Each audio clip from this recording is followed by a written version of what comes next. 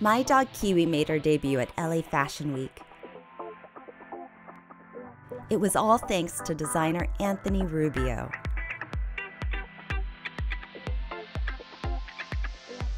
Kiwi's never been to anything like this.